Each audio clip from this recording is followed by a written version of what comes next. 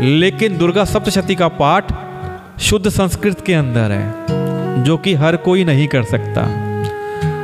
अशुद्ध पाठ पढ़ने से दोष लगता है, हानि हो सकती है। ऐसे में ये चार चौपाइयाँ हैं रामचरितमानस की, जिनकी महत्ता दुर्गा सप्तशती के समान कही गई है।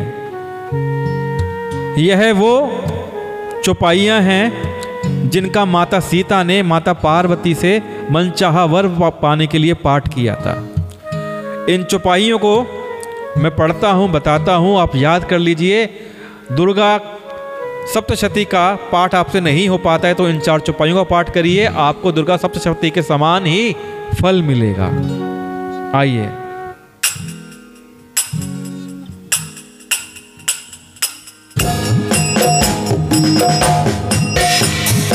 जय जय गिरिबर राज किशोरी, जय महेश मुख चंद चकोरी, जय गज बदन शटानन माता, जगत जननी दामिनी दुति नहीं तब आदि जय अवसान, अमित प्रभाव बेदू नहीं जाना भव भव विभव पराभव कारिणी विश्व विमोहनी सब बिहारिणी पति देवता सुतिय महू मातु प्रथम तव रे।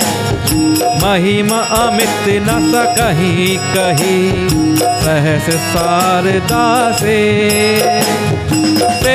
सेवत तो ही सुलभ फल चारी वरदायनी पुरारी प्यारी। देवी पूजी पद कमल तुम्हारे, सुर नर मुनि सब हो ही सुखारे माँ।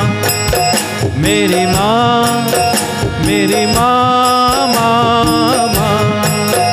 जय जय माँ, जय जय माँ, जय जय माँ। तो इन चौपाइयों को आप याद कर लीजिए नहीं तो लिख के रख लीजिए। बाल कांड से चौपाइयाँ ली गई हैं। दोहा नंबर दो, 235 के पास ये आपको चौपाइयाँ मिल जाएँगी। 235 दोहा नंबर दो, 235 प्रतिदिन नवरात्रों में इन चौपाइयों का पाठ करिए आपको मनचाहा फल की प्राप्ति होगी। बोलिए दुर्गा माता की जय हो। पार्वती माता की जय हो। ये मैंने बड़ा अच्छा उपाय बताया है। इसका आप पालन करिएगा।